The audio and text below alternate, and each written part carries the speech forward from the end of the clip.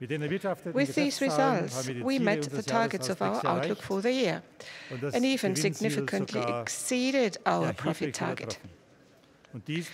Ladies and gentlemen, the last time we accomplished that was three years ago, and that is both an incentive and an obligation for us to dependably meet our declared targets. For Siemens, Europe remains the center of innovation. Asia remains a strong growth region, with China as the key market.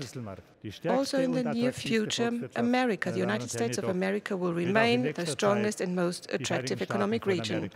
2015, we will invest more than 1,000 million euros into growth, productivity, and innovation.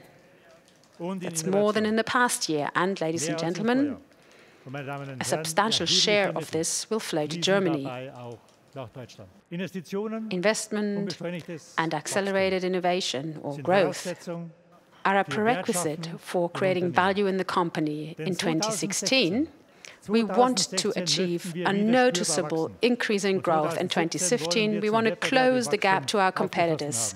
We are right on track with our plans, and we will implement them with prudence and consistency. We're working hard for our customers. We give our employees directions and orientation, and we create sustainable value. Sustainable value for our shareholders and for the society at large. This is our mission, and that's our promise.